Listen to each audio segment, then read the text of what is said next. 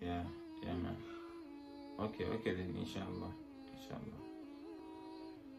Okay, okay. No problem, inshallah. No problem. No problem. Brother, please let me ask you this question.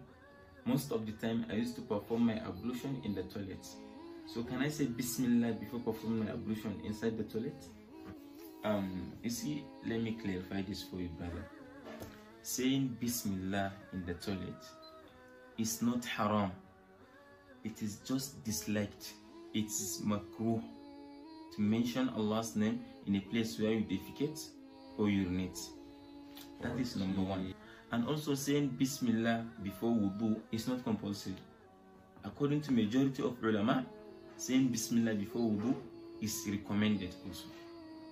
But I prefer, since it is disliked to mention Allah subhanahu wa ta'ala's name in the toilet, just say Bismillah silently, even if you perform ablution without saying Bismillah.